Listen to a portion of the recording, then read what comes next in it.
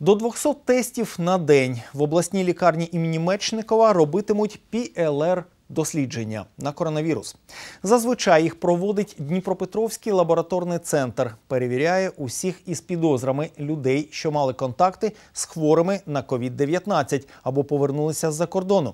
Натомість в обласній клініці дослідження робитимуть людям із пневмонією, а також мешканцям Першотравенська і Павлограда.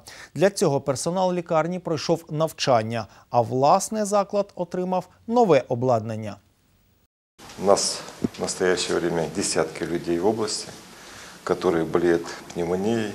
Пневмония занимает четвертое место по смертности в мире. После этих тестов ПЦР-диагностика позволяет их провести в течение одного дня.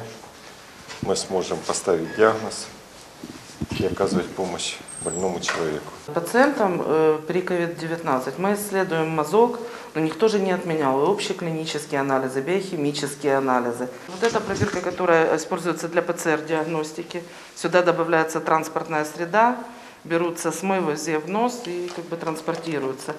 Э, Пробирки, которые используются для экспресс-тестов. Пробирки, которые используются для забора других клинических анализаторов, в том числе и газов крови, мониторинга насыщения кислородом. Независимо, это один пациент, пять пациентов, сколько бы их ни было, в работу включается как бы одномоментно до 10 сотрудников.